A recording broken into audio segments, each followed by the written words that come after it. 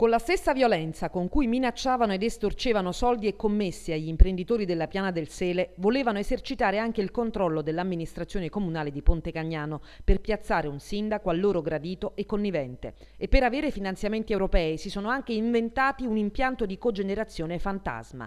È stata denominata Operazione Perseo. A condurla i carabinieri di Battipaglia, coordinati dalla Direzione Distrettuale Antimafia della Procura di Salerno, 16 le misure cautelari, 14 in carcere, una ai domiciliari domiciliari e un'interdizione.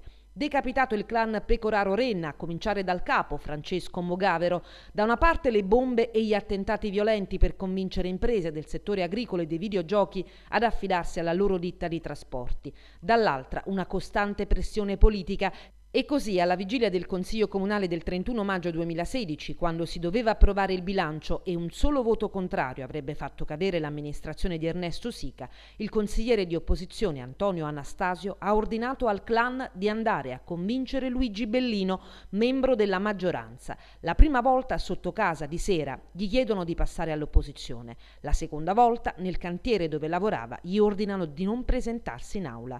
Ma Bellino denuncia tutto ai carabinieri. Il giorno del Consiglio Comunale, quel 31 maggio, eh, lei ha detto c'era addirittura un controllo parastatale.